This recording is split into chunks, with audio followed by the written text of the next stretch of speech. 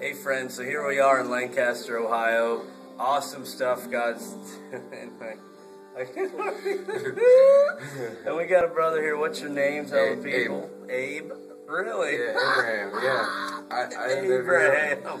Yeah. And uh, and he just wanted to share with everyone out there that maybe doesn't know who Jesus is, or maybe you do, but you experience this, just what God's doing in him and what God's been doing to him in these meetings. What's going on? Um, I just I've been I've been to the point where I can't communicate recently. I felt like really locked up, like God's like trying to move something in me, and and coming here is just you know opened my eyes to you know God God's like lifted the depression and you felt the like- depression lift and the Yeah, glory and everything. yeah, He, yeah. ta- he came to me and he said, "I've never experienced God in a way like this before. There was such a heavy glory here."